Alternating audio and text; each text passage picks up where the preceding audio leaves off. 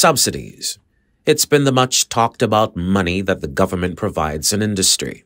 The idea is to ensure that the price of a good or service is low or competitive.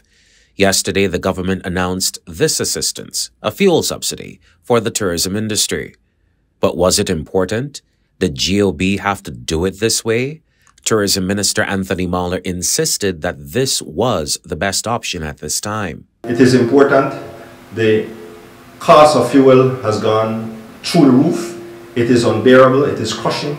Uh, and I know about contracts and I know that it's difficult for you to increase your prices at this time. Bus operators have also received the same kind of assistance, and the nation's bakers want a similar thing. But are subsidies effective? Do they do more harm than good?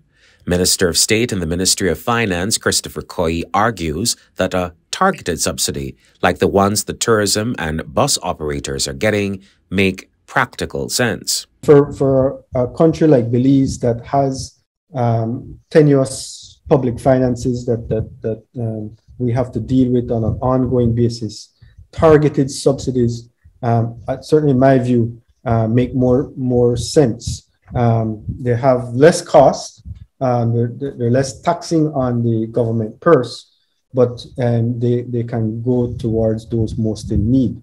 You can target to those most in need. And the leader of the opposition, Moses Shyne Barrow, seems to think that this kind of assistance may be helpful, but it's not a panacea to the current state of affairs. We need to bring relief um, to our people, uh, whether the small businesses such as the, the bakers, um, the taxi drivers. i I, am sorry that I don't hear about subsidies going to them uh, because to me, they're as important as the bus drivers.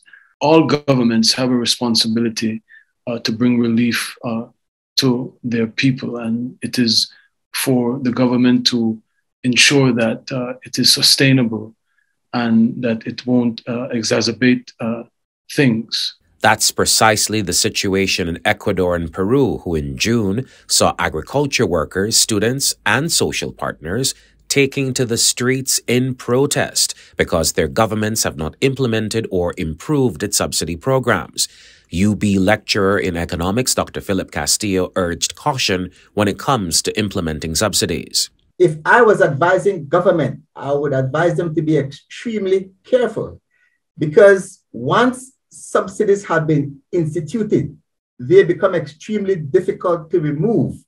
Um, issues of removing subsidies have been a cause of riots in several countries in the region, and um, the same thing could potentially happen to Belize.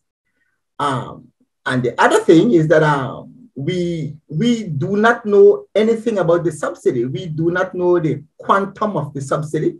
We do not know how it was calculated. We do not know how long it will last. There are several things we do not know. What we know for sure is that the subsidy program implemented by the government for the tourism industry will span five months in the first instance. Tour operator John Pollard welcomed this assistance. This offer is going to be given to us for the next five months. Free fuel, I should say. It's surely a history made here in Belize today.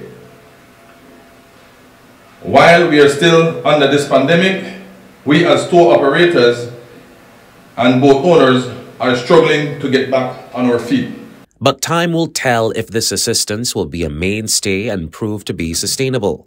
For now, 185 tour operators will receive this boost, even as the bakers await their turn. Dale McDougal, Love News.